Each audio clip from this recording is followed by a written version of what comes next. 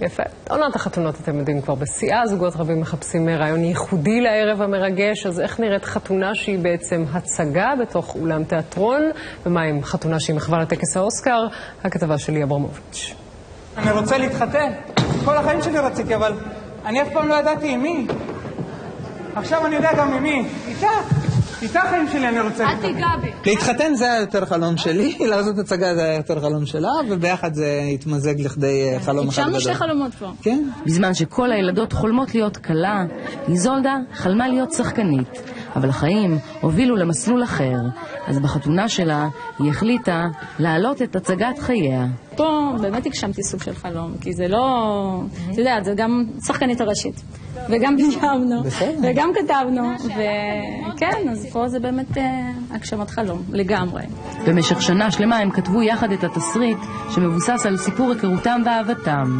לקחו שיעורי ריקוד ושירה, וחיפשו בכל הארץ אולם תיאטרון שיסכים להעלות את ההפקה החד פעמית הזאת, החתונה שלהם. זה לא קשור, זה המטרה של ההורים, זה לחתן את הילדים.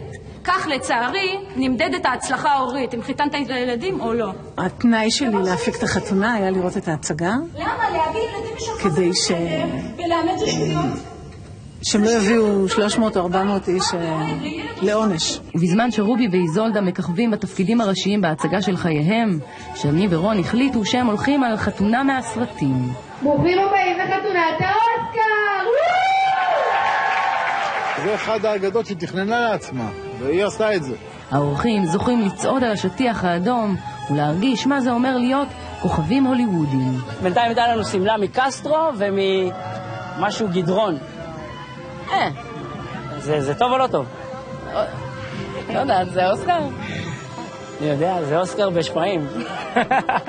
כי איזה יום מתאים יותר לחיות בסרט. אני באמת רציתי חתונת דיסני ארטקור עם אה, נסיכות וריקודי ואלס וזה, הוא אמר, אז בואי נעשה חתונת אופנועים. ואז בדיוק, היה טקס האוסקר בטלוויזיה, אמרתי, וואי, איזה יפה זה, וואי, אולי נעשה. ויאללה, התחלנו. בשנה האחרונה ניכרת עלייה בביקוש לחתונות מיוחדות, טרנד שהתחיל בארצות הברית. אבל חתונת קונספט גם מייקרת את ההוצאות של חתונה ממוצעת בכ-50%. אולי צריכים ללכת על ה eighties? לא, נראה לך. חושב שהיינו עושים עכשיו שופינג של חותלות. גם עמרי רונן ובחירת ליבו הילה לא רוצים לשעמם את המוזמנים שלהם בעוד חתונה שגרתית. הם הלכו על שיק של 70's. זה סרטיז, כן. אנשים הולכים כל כך הרבה חתונות כל הזמן, כבר לא נעים לי להביא אותם לעוד חתונה. כאילו אם אני כבר באמת מביאה 400 איש לאיזה מקום, אני רוצה לתת להם משהו שהם לא היו בו קודם. למבוגרים יותר זה אחלה, זו מוזיקה שהייתה להם כשהם היו teenagers. ובהצגה של רובי ואיזולדה, הקהל השבוי מריע לשחקנים. אתה ממש יפה, אני מאוד גאה בהם. סיכון, לדעתי מצוין. אני אף פעם לא הייתי בחתונה כזאת, אני נסעתי ארבע שעות מירושלים אחרי משמרת לילה בלי לישון.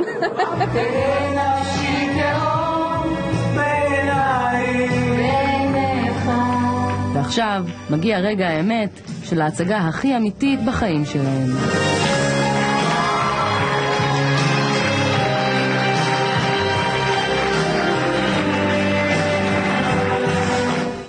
זהו, מעכשיו זה בלי תסריט. טוב, הקומיקאי והשחקן אלי פיניש נכנס בימים אלה לתפקיד שהוא